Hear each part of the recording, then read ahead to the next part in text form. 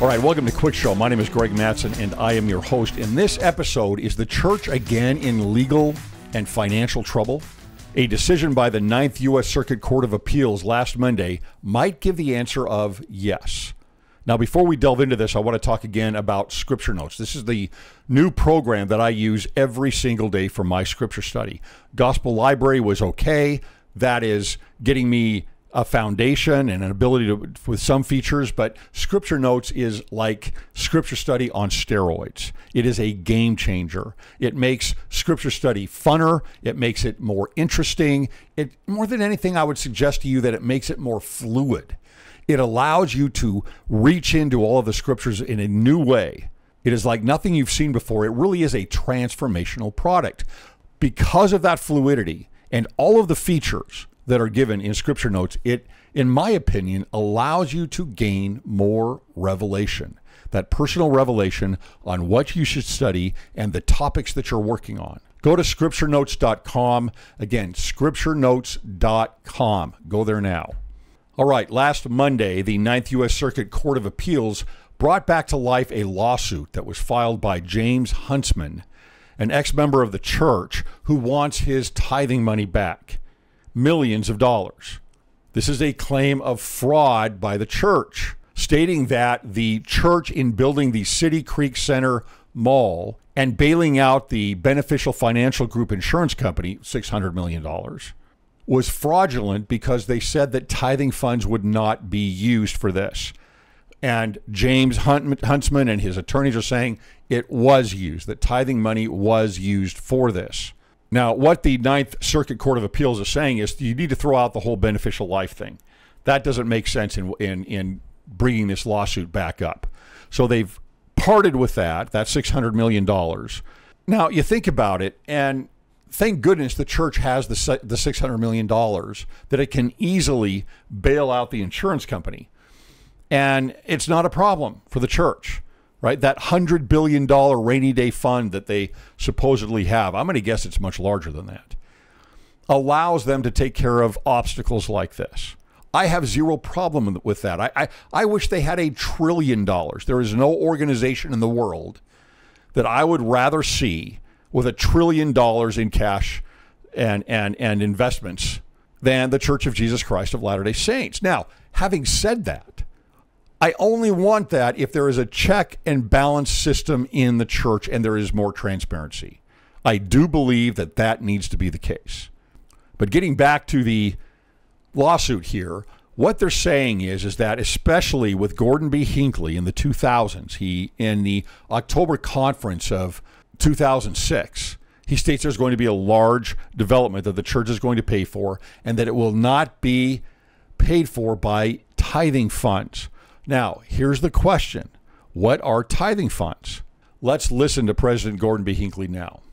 The church is undertaking a huge development project in the interest of protecting the environment of Temple Square. While the cost will be great, it will not involve the expenditure of tithing funds. Love that guy. All right, so there you heard it directly from President Gordon B. Hinckley in October conference, General Conference of 2006. Tithing funds will not be used. What are tithing funds? Here is where this is going to be. This is where the battle is going to be. What are tithing funds?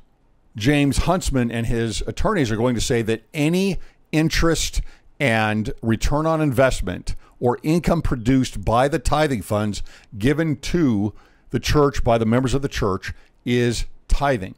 The church is going to say, we used funds that were built off of interest and, and investment returns and income produced by um, assets that the church has in order to pay for the City Creek Center Mall. So, what are tithing funds? In my mind, I look at this and I say, okay, well, what am I going to pay? What is tithing? we, we have very clear definitions. It's all over the uh, uh, the church website. It's it's stated uh, over and over again in church history and different conferences and talks, etc., that it's 10% of the increase of each member of the church. That's what tithing is. So when I pay in my 10% amount to the church for tithing, that's that's what it is. Now, what the church does with that money or how that in, that that donation increases is not of my concern in terms of tithing. That is not something I have anything to do with. I don't claim an additional part of that increase as my tithing. Otherwise, I could use that in the balance sheet, maybe against future tithing, right? Future 10% that I'm going to pay. It's like, wait a minute. You made 3% on my money this year. I'm only paying 7% in in tithing. They are not the same bucket. They're different financial buckets. But that's really what this is going to come down to is what Gordon B. Hinckley and others have said in this period about tithing funds. To me, it's pretty clear, but to others, it may not be. Now, there are other questions about this. For example, should the church even be involved with these enterprises? I could completely understand, based on what President Hinckley says here, they're trying to protect the, protect the environment of, you know, this is during uh, uh, where what ends up becoming actually a very difficult financial period. And the City Creek Center Mall really helped stimulate business in downtown Salt Lake. Okay, great. That's a positive. The question is, is that the job of the church? Maybe it is. Who am I to question what the brethren do, right? Or is that is that part of what a church does? And so there are there's a lot of criticism. You know, this hundred billion dollars apparently that we have, 150 billion dollars, whatever it is. What do you do with those funds? Is it good that they have that for a rainy day? Well, when you're talking about the beneficial financial group bailout of $600 million. Pretty nice that they had a, a, large coffer of funds that they could take care of that with the blink of an eye. But there's something here also that I think requires a lot of clarity. Critics of the church and even members of the church criticize the church for having all of this money. And it's like, well, what about the poor? What about those that go hungry? The church works in those areas all the time. That's not what tithing is for. If you want tithing to go to that, you have to change the definition of tithing. As members of the church know, there are different areas for the ledger of donations with the church. When we submit a donation slip online, mostly now, there are different categories. There's tithing, then there's humanitarian. Okay, well, the humanitarian goes toward humanitarian needs. And we do an amazing job with that as, as a group, as members of the church, and, and as a church as a whole. Tithing isn't meant for that. In fact, it would be fraudulent, some could claim, if the church's tithing dollars went toward humanitarian needs. Because tithing dollars are meant to build up the kingdom of God. There are other categories such as missionary, and those dedicated donations go to the missions and to missionary work. That's where they're supposed to go. Otherwise, why am I having a category on the donation slip? Now, if they took funds that I give for the missionary program and they give it over to the tithing funds or they give it over to the humanitarian funds, now there's a problem. That could be fraudulent. But when many individuals critique the church on this large sum of money that they have and why they're not giving it to the humanitarian in humanitarian needs. We do do that. But members of the church direct outside of tithing where uh, where they're going to place their donations.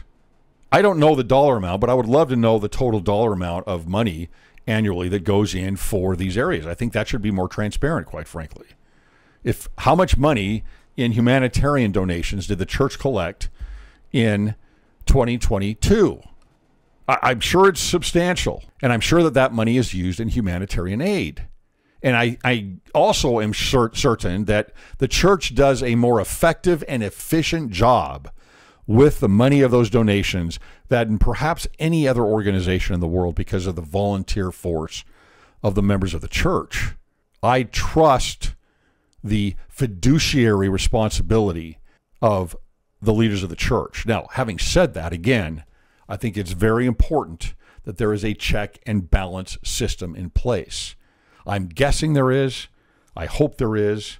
Now, speaking of some of the members of the church that critique the management of the of, of the funds of the church, and again, this this big fund, this massive fund that the church has. Here's one, Jana Riess. Now, Jana Riess is oftentimes critical of the church. She writes this. Let's see here. This is written in December on December 24th, Christmas Eve, 2020. So this is about the time of tithing settlement, right? Title of the article picked up by the Salt Lake Tribune is Why I Stopped Paying Tithing to the LDS Church. And again, this comes at a time where the uh, expose on the church and this this huge these huge funds with Ensign Peak Advisors that we have all this money in the church and it's it's there and it's not going toward humanitarian needs. That's usually the complaint. And so she's going to stop paying tithing to the church. And she says, Look, I'm just going to go in tithing settlement and I'm going to say, okay, I didn't pay any money here anymore to the church, but I'm paying my 10% to whatever charity I choose to. She says in her concluding paragraph here, at tithing settlement this year, I declare myself a full tithe payer and explain why none of that money has gone to the church. Okay, then it's not tithing. It's not tithing. Tithing isn't your decision on where to give humanitarian aid. That is not what tithing is. She says, I don't know what the fallout there will be uh, from this decision, if any. Frankly, it's not important whether I continue to hold a temple recommend or not. She wants change, right? What's important to me is that at least a, a few kids who didn't have food or access to education will have meals, schools, and the basics. I should have done this a long time ago. And there are many members of the church that follow her advice or have followed her advice, either, either directly or decided to do the same thing. And this was exactly one of the reasons that, by the way, that the church gives for not being more transparent with how, with how much money they have. And I'm kind of on both sides on that, but I, I get that, right? They're afraid that people won't pay the tithing because they see they have so much money. But what Jana Riess here is saying is wrong. It has nothing to do with humanitarian aid. Now, what would be nice, perhaps, is some explanation from the church to the members. I just don't care about the world and the messaging to the world so much. It seems to me like the church has really moved to that side of things with caring about what we tell the world and the press more than what we tell the membership of the church sometimes. And it's like, okay, we're giving the money. we give the money. It, would be nice to have the messaging to us about that, right? So there's a lot of things to consider about this. Again, going back to the point of should the church be involved with these enterprises? Now, again, if you've got all this money, why not produce more? It's fiscally responsible. If I'm running a portfolio and I'm looking at businesses or to buy, or I'm looking at, uh, real estate, or I'm looking at what type of uh, investments I might want to put it in, such as bonds and and stock and mutual funds. You know, what do you do with that money? Do you just let it sit and lose value with inflation? You know, probably not.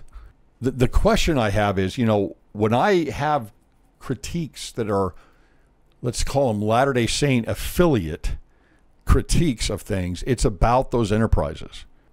And, and, and many of those enterprises have gone very, are going very woke, for example. You've heard me talk a lot about Deseret Book. Uh, not as much anymore, but a couple years ago, Deseret News. It's it, it's it's it, it can cause so many problems because of social justice moving into all of these entities. Go look at some of these websites from these entities that the church owns. Uh, there, there, there's DEI and critical race theory and and just woke, common woke statements everywhere.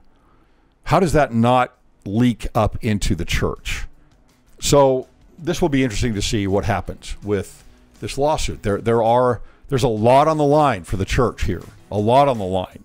You know, tens, maybe hundreds of millions of dollars that could be claimed by other uh, disaffected members of the church.